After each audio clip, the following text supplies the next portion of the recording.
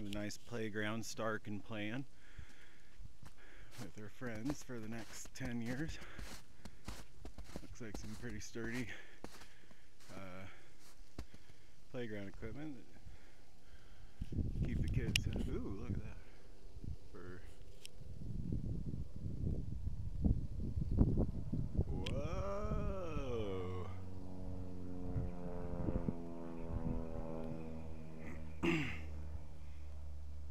going?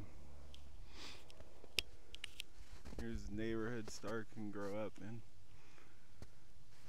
This whole neighborhood is ours for the taking. No one else no one else is here. We built this city on rock and roll so that no one else would have to. So yeah, this uninhabited town is uh, ready for the taking for the next start our own little neighborhood.